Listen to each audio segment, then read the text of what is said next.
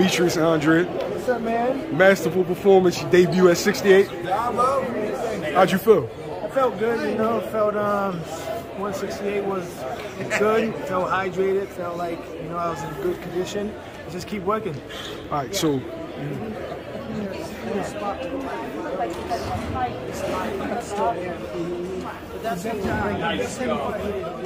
that. I'm serious. Leave that fight tonight.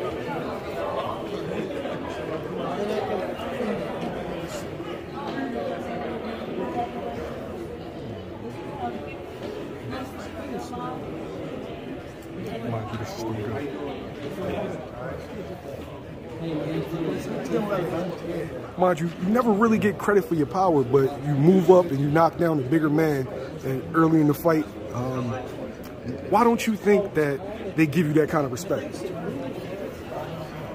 I don't know, bro. Everybody that's ever stepped in the ring with me got knocked down, so I don't know what they're talking that- about, bro. Everybody crazy. gets put down every time, so I don't know.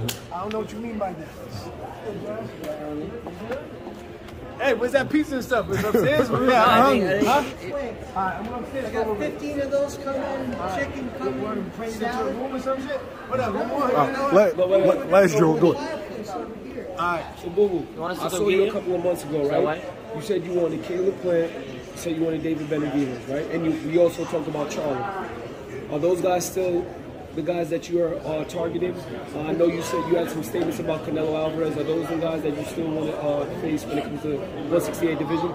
Yeah, of course. I'm over here right now, PBC, and hopefully we can make something happen amongst those, that group. And just tell me about the difference between the DAZN side versus the PBC side of after your first fight? Like, how does it feel? You know, I can't get into that right now. You know what I'm saying? I can't get into that right now.